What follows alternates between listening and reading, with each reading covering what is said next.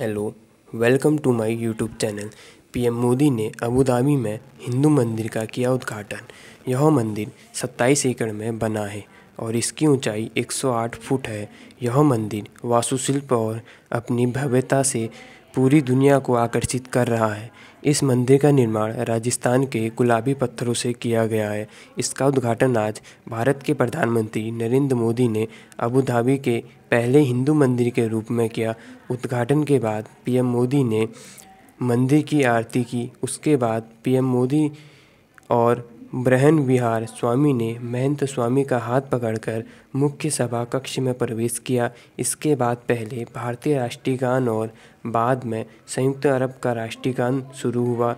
उसके बाद नरेंद्र मोदी गर्भगृह में गए और देवता की मूर्ति पर पुष्पांजलि अर्पित की। इसके बाद महंत स्वामी का आशीर्वाद लिया।